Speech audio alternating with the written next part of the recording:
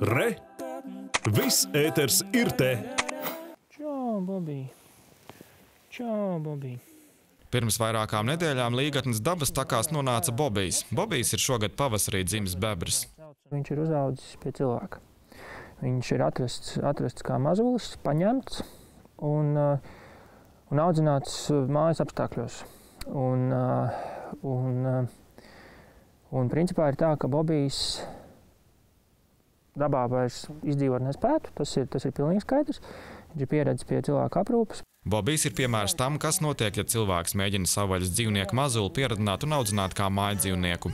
Lai viņu izkustinātu, mēs viņu dažkārt izceļam, aiznesam pie viņa plunčāšanās vietas, lai viņš izpeldās. Un, tā teikt, lai pats aktīvi nu, saprot, ka jākustās. Jo pagaidām mēs viņu tā teikt buhņījam visu, visu laiku, lai viņš, lai viņš uh, lai viņš ēstu, lai viņš kustētos. Ik rudeni gan Līgatnes dabas takas, gan Rīgas zooloģiskais dārzs saņem iedzīvotāju zvanus, ko iesākt ar dzīvniekiem, kuri būdam mazuļi pavasarī paņemti, bet tagad cilvēki vairs netiek galā, jo mazais lapsēns vai stirnāns ir izaudzis un izrādījies nepārāk mīļš mājdzīvnieks. Tas eh, putns vai zvērs, viņš ir pieradis pie bļodiņas, barību jau meklē pie cilvēka. Otrām kārtām viņam nav respekta un distances no cilvēka. Ja runā par stirnām, es īpaši par stirnu bukiem, tad šādi stirnu buki, kas ir pieradināti un palaisti, nu, mēdz, tad, kad viņam ir iesta periods, viņš nāk virsū cilvēkiem.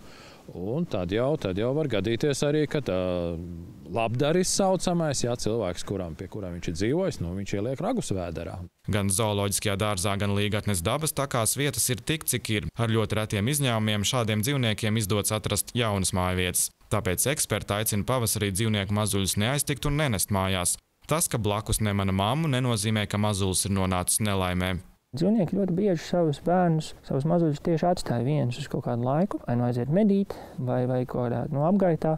Ļoti ātri pušlēni pamet savu līgstu.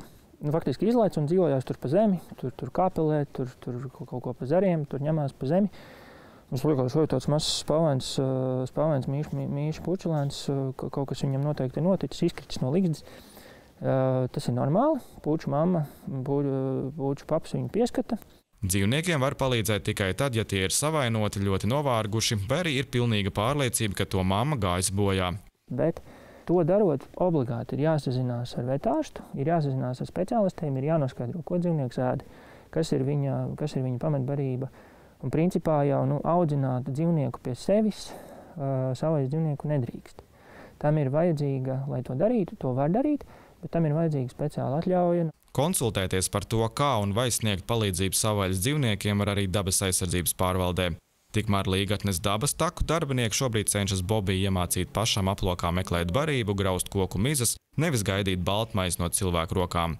Ulds Birziņš, Sandrs Polis, Oto Ailts, Latvijas televīzija.